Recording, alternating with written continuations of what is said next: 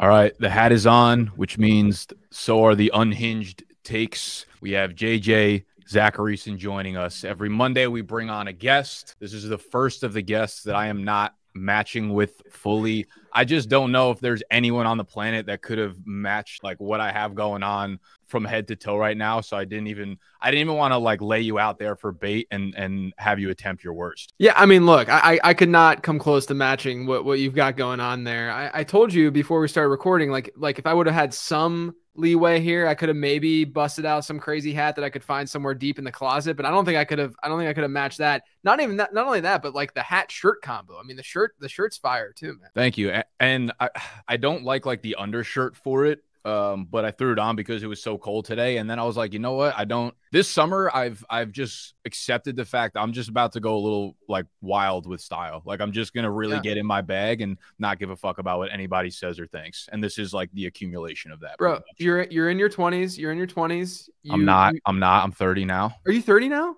I turned 30 in August. Yeah. Oh dang. Okay. Well, around that time is when you when you're finding yourself and discovering yourself. It's around that like. So now, well, I've I think I have found myself, and this yes. is the result of that. It's started unfortunately now. Yeah. Exactly. Exactly. exactly. all right. All right. All right. Enough clothing talk. Um, y'all know who JJ is. He is the host of the Late Round podcast.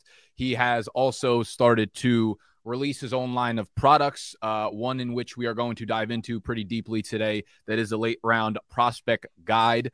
And uh, I, I, think it's a cool trend that we're seeing with these individual creators and, and brands and stuff really diving into and owning the dynasty space and, and very relevant to like the rookie class coming in because as the NFL becomes more offense friendly, I think we're seeing a lot more uh, rookie players being like super, super relevant to fantasy football. So I guess before we start, JJ, why don't you um, give us like a little bit of a sneak peek into the late round prospect guide, uh, what people can expect from that, what what like the product was when you originally thought of it as an idea from ideation stage to like execution on the product, both from like a you know an analyst standpoint um, to also someone running their own business and just you know content creation kind of uh, angle. Yeah, you know, I mean, I was at FanDuel for a really long time. I wasn't able to like really create long form like stuff that I would really want to create. Um, you know, it, I just didn't have the time to do stuff like that. Whereas now, you know, being out on my own, I'm able to do stuff like that.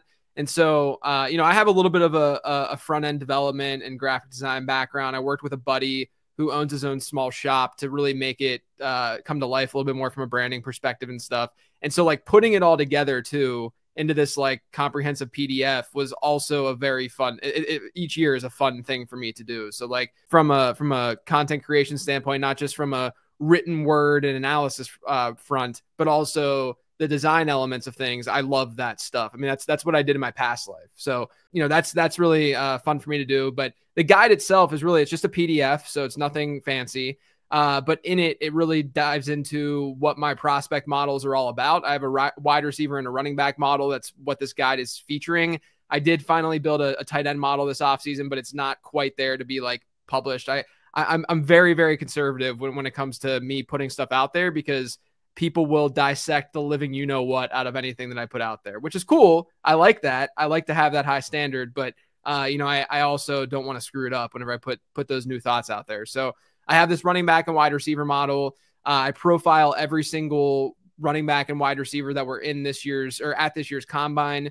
Uh, and then I also just dig through like what goes into the model. I know that not everyone's going to be in love with that or care about that, but the transparency is really important to me. You know, I, I'm not an analyst that goes out there on social media and says, you got to draft this guy no matter what. Uh, you know, it's just not my approach. You know, I think about things in a much more probability driven way. And I think that when you see sort of what goes on under the hood with the the model and such, you can sort of see that and it, and it comes to life a little bit better and, and a little bit more. So uh, you get the the breakdowns of the models, you get the the profiles for every single dude, and then I also in there have my year two model, which is essentially looking at guys who already played a year in the NFL, so they're sophomores in the NFL. And uh, there's a model that shows how they're going to perform in year two and year three in the league. And so I do a bunch of profiles for that as well, and I break down that model too. So it's all a comprehensive PDF. It's like 130 plus pages. Um, you know, I did it all. I, you know, like I said, I have a template at this point because, uh, you know, my buddy last year was able to to help me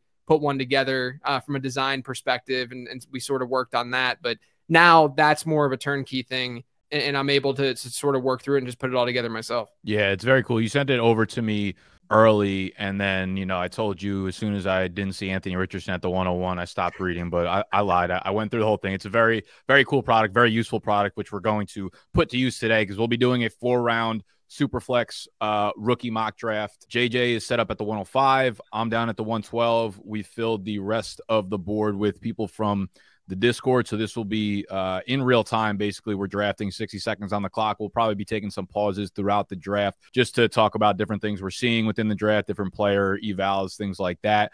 Um, if you want to go grab JJ's guide. We will first link it down below. Of course, make sure you're following him all over social media, Twitter, uh, you know, everywhere he is, we'll have that link down below. It's lateround.com. That's pretty much like the infrastructure he has for everything he's got going on the podcast. He's got memberships with the Patreon, he's got his guides, newsletter, all that kind of stuff. So before we dive in, uh, JJ, what uh, what else are you excited about for the off season? You know, from you know where what you're doing work wise, or any like big projects outside of the prospect guide, or has that been consuming most of your time? So far it's been consuming my time um you know and then i try to take some breaks some some mental breaks and stuff because uh it's just a lot i mean to just get yeah. all that done you know um and then uh, I get the draft guide, which uh, you know did really well last year, and that's more of like a game theory slash here's who you might want to pick in redraft leagues type typical draft guide. But you know, I say typical draft guide, but I think it's much more game theory driven and oriented than than a lot of other guides that are out there that are probably a little bit more just like player specific and stuff, which is totally mm-hmm. fine. It's just not my total style. Um, so I'll be I'll be starting on that, you know, once the draft settles down a little bit and such. But um, you know, with with the prospect guide, I'm working throughout the draft, and so uh, the day after the draft is over, that guide will be back in people's email inboxes with updated profiles and stuff for where these guys landed. Because I know that people have their their drafts start on Monday, you know, after Dude, the draft. It's, it's so such I, a tough time of the year if you do make a, a product like this. We make something super similar where it's like the crunch time is crazy. Yeah. And it, it reminds me of kind of like being in season where everything's such a quick turnaround. And for like yeah. rookies, you know, you do so much work for 60 to 70 players, whatever the case may be. And then the NFL draft happens, and then you basically need to like reevaluate every exactly. single player because everyone has a rookie draft like the next day or you know at best case scenario you have a week to reevaluate yeah. all fucking 70 players. It's a crazy time of the year. Yeah exactly exactly. And so uh, I, am just locked into my office you know for those four days just trying to get it out so that people are able to to utilize that for their rookie drafts on on that monday. And then you know just just cranking on the podcast. The podcast really from you know from a business perspective is really just a great marketing driver for me. Um, and and it's something that you know it's it's my baby. You know, it's the most valuable thing I've got, and so uh, that's something that I that I continue to focus on a ton. Uh, more studies will be coming out this offseason. That's really what my focus. I love the offseason because I can just like really dive deep into this stuff. Whereas in season, you have no time to breathe to be able to do that kind of thing. Um, so I love the offseason just for that kind of thing where I, I have this spreadsheet of, of ideas that I've had for years and I'm, I just kind of pick them off one by one to be able to do these different studies on. Sometimes they come to fruition and are great. And sometimes I look at the data and I don't get anything from it and I just wasted a bunch of time. But uh, that's just kind of the nature of the business. Yeah, dude, the off season is is so fun. Like sometimes I think to myself, I'm like, man, do I even like football anymore? Do I just love the off season? And do right. I, you know, you get to step back and be creative and like put all these things into place, whether they're you know two week studies or they're five month projects or something like that. It is it's a really really fun time of the year because it's such an opposite end of the spectrum relative to how crazy and how time constrained you are you know while the actual NFL season is going on. Yeah, and the crazy thing with with what I'm doing now because I'm I'm doing it all myself. Like I don't have any full-time employees with me or anything. And so like it's one of those things where, you know, when I'm doing the weekly stuff, you know, like a weekly transactions column slash podcast and stuff like that, you know, no one's no one's like reading or listening to that stuff until it's published, right? So I publish it and then I get the reaction from people, and that's sort of a thrill. But mm-hmm. like the the true thrill is when you put a freaking 135 page PDF together and no one really looks at it before you release it to the public. And then you get all these reactions and reviews and all that kind of stuff. And it's just really fun. I mean, it's just like like when you're putting so much effort into this stuff and then and you can only do that during the off season. And you know you're you're able to see sort of the feedback on it after you put all that effort in. It's just it's pretty rewarding. Yeah it's it's a uh, it's a fun time of the year. So i try not to let it pass me by but i know football will be the draft will be here before we know it. And then training camp will be here. And then the football season will start. And then we'll be back to rookie mock draft season you know before we know it. So before we get to next year's rookie mock let's do one for this year 2023 super flex 12 teamer uh, we're going half ppr We're going uh regular tight end scoring settings. Everyone in the draft knows the deal. JJ, you got the draft board up? I got it up. All right, get it. Tommy Gabagool, the made man. It's up at the 101. We got 60 seconds on the clock. I feel like, you know, the most standard question to ask the 101 is there is there is there a way you're taking a quarterback over Bijan Robinson? There's not a way, but I do think that I might be like like I'm taking Bijan, but I think that that I could make the argument for quarterback probably more than someone else would. Like just in like I I'm higher on the quarterback gap or like the lack of gap between Bijan and those guys than most probably. You've just, monopolized just, the quarterback position. Any argument yeah. you make is exponential in the quarterback department. Yeah, like, yeah, right, yeah. Uh, you know, it's just it's just one of those things where where you know we know in Superflex how Superflex startups work, generally speaking. Oh wow, all right, so Gibbs went 104 here. Yep. This is where I'm going to get your boy. I'm going to get I'm going to get Anthony Richardson there. For the for the record, Richardson like is my he's my QB three in the class, and I'm 104 later. I'm not super high on him. I just you know I just, just felt like low hanging fruit to throw at you. okay, that, okay, that was the first name. You know, I got um, you. Hey, Rich, though. So it, it seems like I, I feel like you can't really just like auto fade him. 105 and Superflex seems uh, kind of like a nut draw right there. Yeah. I mean, like, I think I have him at 104. Uh, I have Stroud at, as my QB1 and, and mm-hmm. Bryce Young as my QB2. Um, I, I, think it's, I mean, it's definitely different in single quarterback. Like, single quarterback, I'm just going to, I'm going to go nuts and just go for Anthony Richardson because the opportunity cost isn't nearly as, as immense, you know, in, in a single quarterback league. Um, just doesn't matter if you don't, if you don't hit on that pick. You know, the opportunity cost here is obviously you wouldn't get Stroud, you wouldn't get Young if you're taking them over them. You wouldn't get a Gibbs or a, or a JSN who, you know, I like, I personally like JSN over Gibbs. But yeah, I mean, I, I think Richardson at least has the crazy, seal, the, you know, the could match, hypothetically speaking, the Josh Allen type ceiling in fantasy. But obviously, you know the question mark is is it going to be sustainable is he going to be able to actually do that yeah i can't wait to see anthony richardson play out you know because yeah. the the argument is just so it's kind of like nauseating it's just like he's so athletic like of course he's got the upside it's so hard to believe that he's a good actual passer as a, yeah. as opposed to like an athletic thrower of the football. So I don't know. I'm, I'm excited to see how, how it plays out. I think we'll learn a lot from the situation. I'm I'm with you though. I would take JSN over Jahmyr Gibbs in a one QB league. Uh, I think I saw your rankings beforehand. You had Richardson as a first round pick, and I know when I had Nate Liss on last week, he was all for Richardson at like the 106, 107. And obviously, the opportunity cost is not as immense in those types of leagues. But I mean, first round, there's definitely, uh, I mean, you're definitely still leaving some players on the board at that point, no? Yeah, no, I, I, agree with you. Um, you know, I think a lot of it is that when I approach like my pre-draft rankings, like for instance, this is a good example. So like I published the prospect guide and a couple people came at me and they were like, I thought this was a good running back class. Why do you have so many wide receivers? Because I had like six wide receivers, the big mm-hmm. six, if you will, ranked above a lot of like the non-Charbonnet, if you draw that line, running backs.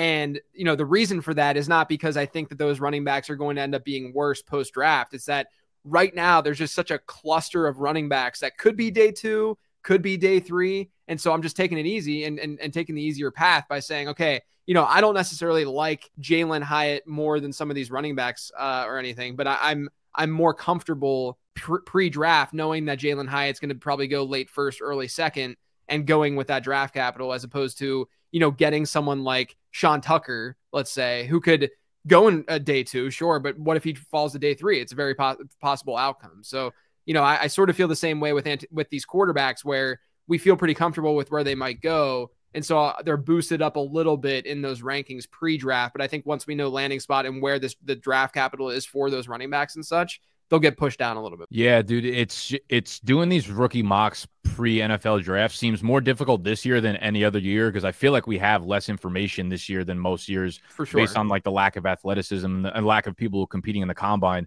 So I'm sitting here at like 112 and I'm like, man, I don't I have no idea. Like I don't want to really take Josh Downs given the fact that he's, you know, 170 pound, 175, like soaking yeah. wet at this point. But I can't just take running backs that I have no idea, you know, how they test out. Like Zach exactly. Evans, for all we know, could be running a four, five, seven at 202 pounds. I'm like, I don't want that at the 112. So I take Josh Downs. I've taken Jalin Hyatt there at the 112. But that spot, that corner spot there, like 111, 112 up to like 203 is it feels like such a black hole where I'm trying to mm-hmm. either package package picks to like move up into the top six, seven, whatever, top eight, or move out of this year altogether. Move back in the rounds. It, I guess. All right. Well, let's start with like the Flowers versus Josh Downs. I guess debate here. Do you have when I when I watched them two play, I got more excited about Josh Downs from like a film standpoint. Yeah. But after the combine, I feel like it was a little bit hard to get super high on a dude who's 173 pounds. You have a you have a strong take on either of these guys because it feels like every wide receiver in this class is just uh, a small dude, runs fast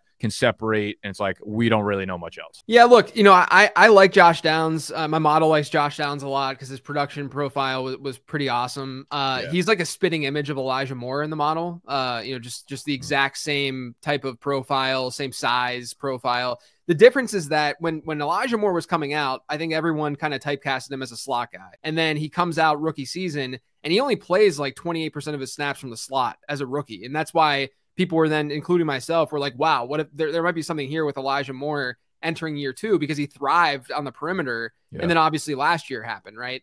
I don't know if Josh Downs is going to have the ability to play on the perimeter like that. Um, and so, you know, that's a that's somewhat of a problem from a fantasy perspective.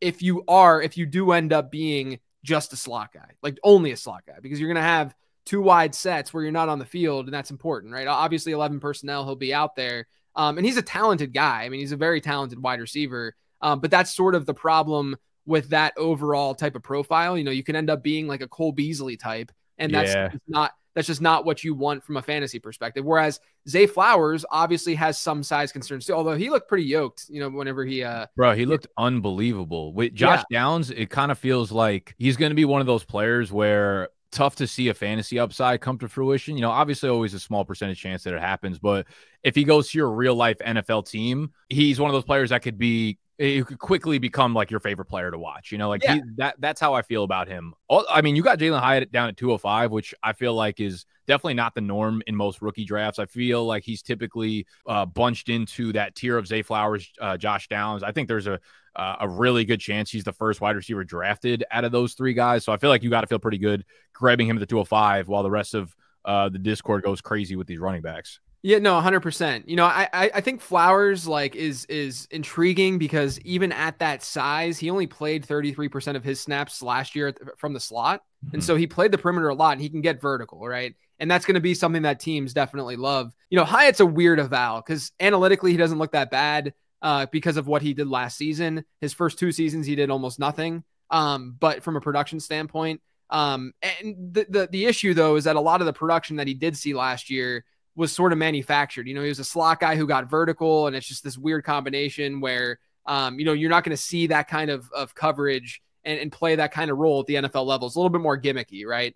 And so I can understand not liking Hyatt as much as a Downs or a Flowers because I think those two guys have a little bit more projectable roles the, at the NFL level. But at the same time, Hyatt has the at least tool set to be able to be one of those one of those guys who can who that that NFL teams love that are yeah. able to stretch the field and, and potentially play the perimeter. So I think he's one of those players where if the draft capital is there and if a team believes in him, then you can feel a little bit more confident. Yeah, it just kind of feels like uh, th- there's anytime there pl- there's a player that comes around that we haven't seen like a really strong precedent for, where it's like that same body type, that same player, you know, at least to a repeated volume. We're like, oh, we've seen this type of player succeed multiple times we start to stray away. Like we don't like mystery prospects. They always scare us a little bit. And that's kind of what Jalin Hyatt feels like to me. Uh, I took Izzy Abanikanda down at the 212. Mm-hmm. And I want to give a quick recap for the second round for anyone who listens via podcast. Michael Mayer went at 201, De'Von Achane, Zach Evans, Tank Bigsby, Jalin Hyatt, Hendon Hooker, Dalton Kincaid, Chase Brown at the 208, Kendre Miller, Sean Tucker, Tyjae Spears, and then I took Izzy Abanikanda at 212. I don't even really love Izzy here. I just kind of wanted to talk about him because he was relevant based on his pro day yesterday, and people are going crazy. And I just kind of want to talk about just pro days in general because we can get the numbers from the combine, and I feel good about that, right? We have every player goes to Indianapolis. Every player's on the same sleep schedule. They're they're performing on the same field at the same time in the same atmosphere, same energy. So like the best players rise up and they are the ones with the best times and the best performance and the best testing. When you have pro day, it's like, you know, these dudes might be like sleeping in their own dorm, waking up with their fucking girlfriend rolling out of bed, going to the field and being like, I feel at home. My homies are on the field with me. I'm running with them, catching passes from them. It's not the same as the combine. I also like do not trust any times that come out of pro days. Like I've developed a mistrust from all these like verified sources. I'm to the point where like I I don't know if I uh it's a terrible viewpoint about being like I don't want to take players that just do stuff at their pro day, but people go wild at like every time someone posts a score of someone at the pro day, it's like we have an unofficial time somewhere in between 4-2 and 4-3-5. I'm like, okay, yeah. if you're going to give a 0.15 difference in what their 40 time could be, that means it could just as easily go the opposite way and probably be between 435 and 450. I don't trust like these hand times realistically. What do you do when we don't have combine numbers? Are you just like sit tight, wait for some sort of official numbers to come out of the pro day? Because I know that I'm sure it factors into your calculations with your stuff. Yeah. So, you know, the thing, so number one, with like wide receivers in particular, I really don't care uh, about athleticism and, and their metrics and stuff. I mean, I do to some degree because I do think that that we'll see it reflected in draft capital. That's my, my hypo- hypothesis as to why like the model doesn't care about it is because draft capital captures that stuff pretty well. Like it's very rare to get a completely unathletic tight or wide receiver rather that goes in the first round or something like that. Um, so you know, someone like Kayshon Boutte, like he's more than likely going to fall in the NFL draft because he not only was not very athletic at the combine, but then he didn't try to do anything at his pro day either yeah. to improve on some of those numbers. So um, I, I, think that'll all be reflected with regard to to running backs. Technically, my model only looks at a speed score threshold of 90, which is pretty easy for guys to hit. Um, and so it's not that big of a deal. But I do look at comps and stuff like that. Um, and, and I, I I like to utilize comps to sort sort of help me see if we've seen you know guys in history who have who have had a similar profile and do something. The thing with the Abanikanda, I think that what we can do is just say he's fast because a lot of the data suggests yeah. that he's a fast running back. He was one of the top 10 players last year in breakaway plays in college football. Uh, you watch him and he's clearly fast. Um, and so like even if he ran a sub four five instead of a sub four four, it doesn't really change that much for me and my analysis of him because he's just that kind of running back. And to be honest with you, uh, one of his top comps in my model this year, uh, I think it is fitting given what he just did at his pro day, is Isaiah Pacheco, where the the size is there, the speed is there. You know, he doesn't necessarily have the best vision in the world, but he has that ability to break those big plays. Uh, and his receiving profile is good enough. It's not amazing, but it's good enough. Um, that's sort of what we saw at Pacheco last year too. So I think what we could see, and, and uh, generally speaking, like a lot of times with these, uh, with, with this testing, is these players. It's just all reflected in draft capital. You know, yep. like if a dude runs a four seven, he's not going to get drafted high. And so, you know, we we probably just we probably double counted a lot. We as in the fantasy community when you could just kind of sit back and say, okay, well, where are these guys going to go, and then we can we can deal with things that way. Speaking of four seven, uh, Kenny McIntosh ran a four seven at his pro day, which was devastating. After he ran like a four six three at his at the fucking combine. Yeah. I don't know how you get slower after practicing for an extra month and being at your home field. Not the point. Um, you brought up a few things that I wanted to um, that I wanted to kind of circle back on. I think a lot of it goes back to like common sense. Like obviously you're using a model, but what you said right there with Izzy is like it's not really that big of a deal if we know he's fast. You know, the extra half a tenth of a second is not going to be an enormous factor when they're on the field. Um, this right. he kind of fits into that mold of, like you said, Isaiah Pacheco, uh, Tevin Coleman. You know, he's not going to create an insane amount by himself, but he has enough upper level traits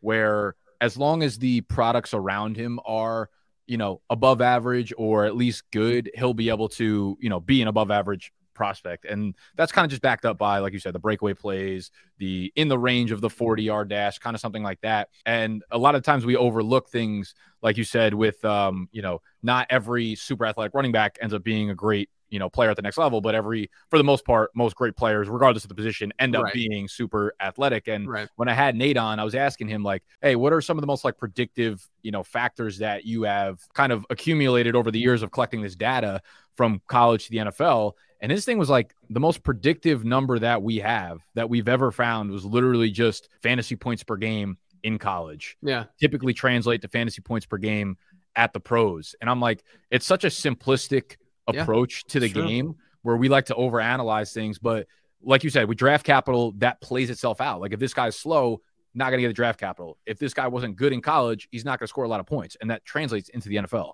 Yeah, and I think people get like mad at analysts when they utilize draft capital. Like, like it's this like like shameful thing for us to to look at draft capital and like. Well, I think it's fair for people to get mad because analysts do like to lean back on shit just to be like, oh, everybody said the same thing. Therefore, it was like it's like with breakout age or like any of these things where it's like some player just kind of checks most boxes, so they fall in love with them because if he doesn't hit, they know everybody else loves the same players. Yeah, like, I oh, agree with that.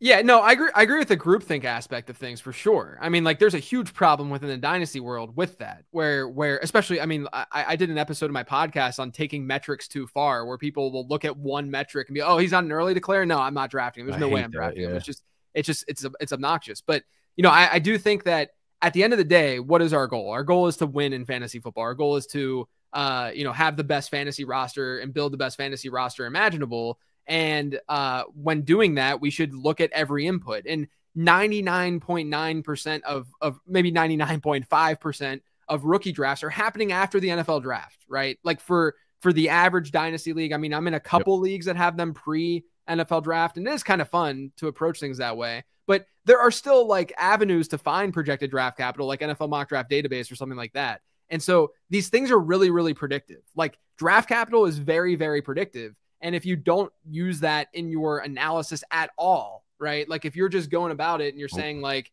I like this guy. I mean, it's like Hakeem Butler years ago. I remember was a was a really good example of this where. People loved Hakeem Butler pre-draft, and that's totally fine. You like Hakeem Butler, but if you're not changing your priors after he goes day three, then you need to change your process because it matters. You know, like there's there's there's signal to that. And so uh like my models utilize draft capital. I'm not like ashamed to say that. They're they're good at projecting guys pre like my my my non uh, you know if you remove draft capital my running back model uses draft capital a little bit heavier than the wide receiver one does but the wide receiver model is still more predictive than draft capital itself even before the draft happens it just becomes that much better whenever draft capital is inputted you know and so i'm just trying to win at the end of the day like I, am not I, am not sitting here trying to get a job in a front office. I'm trying to help people win fantasy football league. But not enough people are trying to win out here, man. It's crazy. Right. People are trying to win trades. They're trying to win like the ebbs and flows of dynasty Twitter. Um, it's it's a it's a wacky world we live in uh, in in the dynasty fantasy football landscape. We've wrapped up the draft completely. We've got four full rounds. Uh, you took uh, Tyler Kraft, tight end.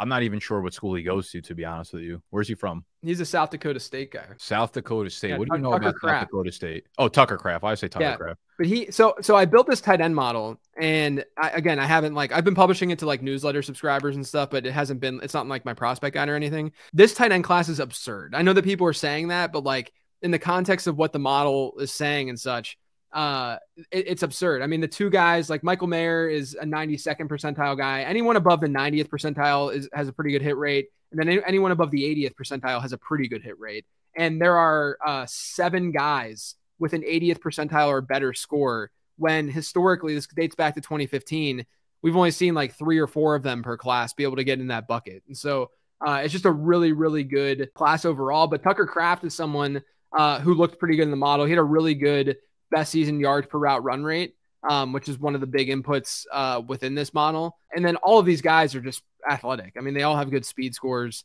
Uh, you should feel comfortable with that. He has good size. You know, he's 6'5, 254. So, you know, he's, he's someone that, you know, I'm not someone who really invests in tight end very heavily in round one and two. I did a, an episode of that this week, actually, where the appreciation and the value that you get from tight ends, rookie tight ends from year one to year two, is not nearly as significant as what you get from running back and wide receiver. And that's especially even if you uh, adjust for where these guys are getting drafted in rookie drafts, it still is a better, you have a better bet to hit a ceiling out of a second round running back, second round uh, wide receiver than you do tight end. Once you get into the third round, fourth round, definitely, especially in this class, I want to be targeting tight ends a little bit more. Yeah, I, I agree with that. The tight end position this year specifically is like one of the few position groups that I feel like has had hype for a long time. And I feel confident that the hype was correct on that. Everybody loves yeah. to be like, oh, uh, maybe this running back class is not that good, but it's like really deep. And it's like always just, wrong. They just can't admit to themselves that most of the guys they like are just not good. And it's right. the same with the wide receiver class this year. The running backs might be okay. We'll see what happens with the draft capital. But I'm I, I've watched like almost every tight end in this class, at least any of them that are like top six, seven and uh, you know looked at the numbers and stuff, and they're all like very, very good across the board. I think even dudes like Sam LaPorta, who I really like, went four eight. I think in a lot of classes he's like the tight end two or the tight end three in that range, and that gets me excited. Where I'm if I'm in like a tight end premium league, I this might be the year to stack up and say like, hey, you know, in in two or three years, I might be able to use multiple tight ends in my flex spots, like a starting tight end, and then a LaPorta, Darnell Washington, uh, Zack Kuntz maybe if he hits or something like that Right. in the flex spot. This is the year to do that if you're weak at the tight end position. Um, Yeah. I wanted to circle back onto uh, your model a little bit and just the way you draft in general. So you're inputting a lot of numbers, obviously, into your model, and it spits out these, you know, the prospect scores, it spits out projections or rankings, whatever you want to call it. And then when you are drafting personally, right? Like, I mean, you're not, I'm assuming you're not drafting based off your score. You'll probably make rankings that Yeah. take into account your personal feelings on things, you know, tiebreakers, if he's a small school player, whatever the case may be. Um, what what are like uh, what are the other decisions that go into your rankings? Like how much film do you watch, and how much does that go into your rankings versus your model? And like what are the tiebreakers when you're on the clock of deciding, you know, one player over the other? So I watch film from the perspective of like wanting to not sound like an idiot. You know, like wanting to just know what these guys are that. about Yeah. and be able to talk about Izzy Abanikanda and say, I mean, I went to Pitt and I'm a Pitt alum, so it's very easy for me to talk about Izzy, but like, you know, players like that, just be able to say, like, okay, this is what he seems to do well. But that's not the bread and butter for me. And I'm not going to pretend it's the bread and butter for me. You know, I just do that as like a baseline. Okay, I'm, I'm going to sound, rel- I can, I can at least try to sound relatively competent about these guys. Uh, but then, you know, I plug these guys into my model. I get a percentile score, and I tell people all the time, like, you know, part of the problem in publishing the prospect guide, if there is a problem, is that people will look at, oh, this guy's a 92nd percentile player and this guy's a 91st percentile player. Well, we definitely have to like the 92nd percentile guy more. No, it's not. That's not how it works at all. This is a guide, right? This is something that that you should, uh, you know, if there's a large gap, like last year, uh, the model liked Jahan Dotson a lot more than it liked Sky Moore, and and that was a a, a point in time where you know in rookie drafts people liked Sky Moore a lot more than Jahan Dotson. Wild. I ended up getting- on that.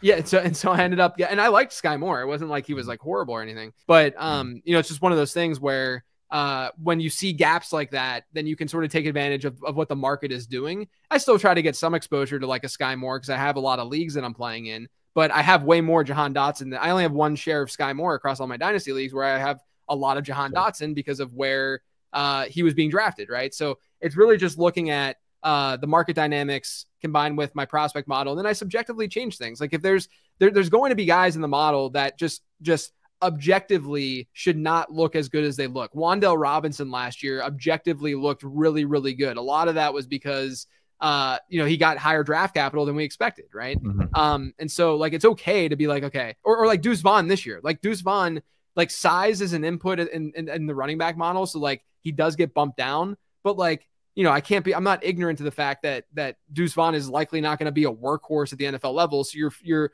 you're weighing in this this floor ceiling combo whenever you're making these rankings and such, which is not going to be captured in a single prospect score. So it's just stuff like that that I'm sort of factoring in and, and making my rankings and then sort of loosely drafting off of those rankings and tiers. Yeah, dude, it's like uh, you know, it's a guide. It's like it, you put an address into the GPS, and sure, it's going to tell you the fastest route to get there. But sometimes you want to take the scenic route. Sometimes right. you just want to sit in the car and listen to a new album that came out, and you never know how you're feeling when you're on the clock. That's right. That's exactly right. Yeah. Yeah. So, you know, take it with a grain of salt, but I still think you should take it and put salt on your food. And by that, I mean, go over to lateround.com and make sure you go grab the prospect guide. Uh, obviously, JJ has put a ton of work, time. He's put his life, his livelihood into this thing. Um, this is what he's working on fully. You should absolutely go check that out. Again, link will be down below. Uh, JJ, I will leave you here. I will leave the mic open to you. Uh, if you have anything else that you'd like to say to the great people of